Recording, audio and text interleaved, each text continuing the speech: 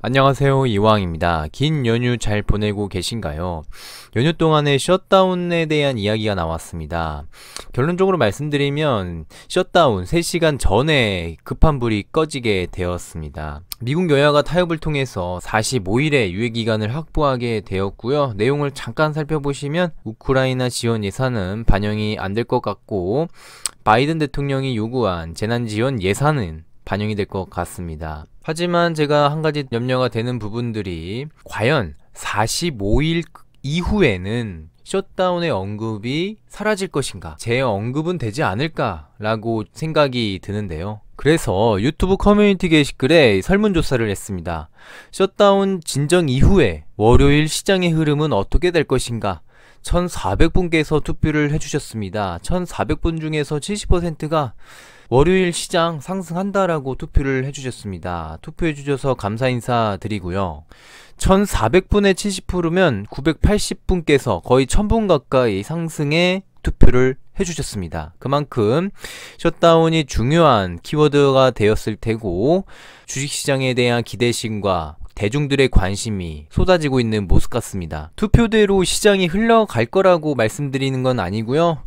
지금 시장 참여자들의 생각과 지표를 확인해 볼 수 있는 자료로만 참고해 주셨으면 감사드리겠습니다. 해외 주식 투자 top 50을 가져왔습니다. 순 매수 결제 기간별로 보시면 결론적으로 빨간 박스만 보시면 아이온 Q, TQQQ, XXL 즉 기술주, 반도체, 성장주 위주로 매매가 많이 들어온 게 사실이고요.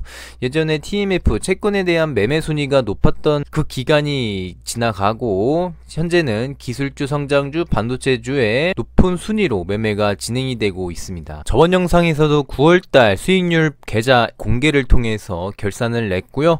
9월달에 어, 상대적으로 다른 기간보다 마이너스 손실률이 높았다라고 말씀을 드렸고 9월달 쉽지 않았던 시장이었다. 2023년도 3개월 정도 남았는데 앞으로 이런 추세라면 시장을 낙관적으로 보기보다 비관적인 관점도 섞어가면서 대응할 필요가 있다라고 말씀을 드렸습니다. 현재 보고 계시는 4개의 계좌는 주식의 관점에서 수량과 가격을 모아 두었던 현재 계좌 상태이고요. 정말 감사하게도 평균 수익률이 높은 수준으로 안정적으로 유지를 해주고 있는 상황입니다. 지금 보고 계시는 계좌 상태는 작년 9월, 10월, 11월 이맘때쯤 폭락하고 바닥을 형성할 때 꾸준하게 원칙을 지켜서 매매를 해주었던 계좌들이 지금과 같은 높은 위치에서 상승과 행보를 이어줌에도 불구하고 안정적으로 상태를 보여주고 있기 때문에 지금 만약에 추가적으로 폭락과 조정이 온다면 지금도 철저한 원칙과 분할 매수로 대응할 계획입니다. 월요일 시장이 셧다운 악재가 해소가 됐다고 해서 상승할지 하락할지 어떻게 될지 모르겠습니다. 하지만 중요한 거는 대중의 관심이 갑자기 크게 쏠렸다라는 점이 시장을 바라볼 때 조금 염려가 되기도 합니다.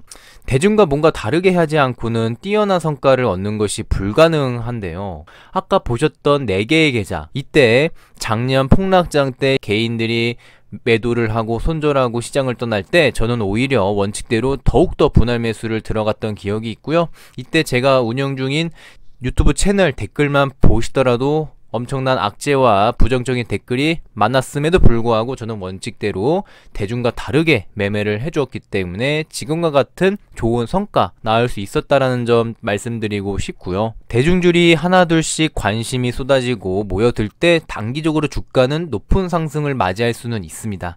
하지만 대중들이 모이면 모일수록 동시에 하락할 수 있는 확률도 높아진다라는 점 잊지 않으셨으면 좋겠고요. 월요일 시장 반등할 수도 있습니다. 높은 상승, 객상승으로 시작할 수도 있습니다. 하지만 상승하는 반면에 하락 확률도 동시에 커질 수 있다라는 점 조심스럽게 말씀드리고 싶고 시장을 보수적으로 긴장의 끈을 놓치면 안 된다라고 말씀드리고 싶습니다. 그렇다면 진짜 대중의 관심이 끝나고 대중들의 매도와 차익 실현 매물로 폭락장이 진짜로 온다면 어떻게 해야 될지 많이 궁금하실 것 같은데 예전에 영상을 통해서 말씀을 드렸습니다.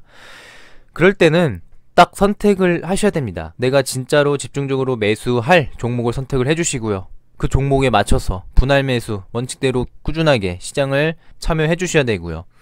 매매를 진행하실 때 100% 몰빵 매수, 100% 비중 매매하시기보다 현금 조절하시면서 비중 조절하시면서 원칙대로 분할 매수 들어가시면서 동시에 감정 통제, 기계적으로 매수할 수 있는 실행력이 필요하시고 마지막으로 원칙을 철저히 지키는 실행력이 정말로 중요하다라고 많이 말씀을 드렸고요. 매수를 하다가 폭락장이 안 오고 상승장 다시 반등을 해주게 된다면 그렇다면 현재 제, 내가 가진 물량 그대를 보유하면서 그대로 함께 시장과 상승을 하면 되고요.